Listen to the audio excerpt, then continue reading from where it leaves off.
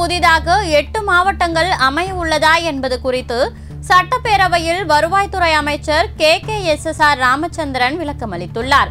இது குறித்து விரிவான தகவலை இந்த காணொளியில் பார்க்கலாம்.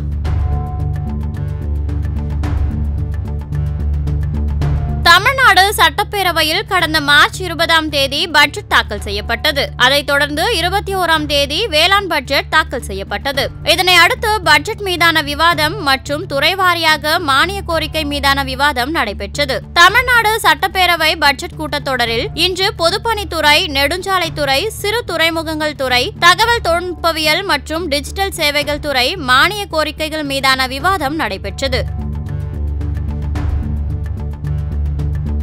முன்னதாக சட்டப்பேரவையில் இன்று கேள்வி நேரத்தில் திருவண்ணாமலை மாவட்டத்திலிருந்து ஆரணியை தனியாக பிரித்து ஆரணியை தலைமையிடமாக கொண்டு புதிய மாவட்டம் உருவாக்கப்பட வேண்டும் என்று அதிமுக சட்டமன்ற உறுப்பினர் சேவூர் ராமச்சந்திரன் கோரிக்கை விடுத்தார்.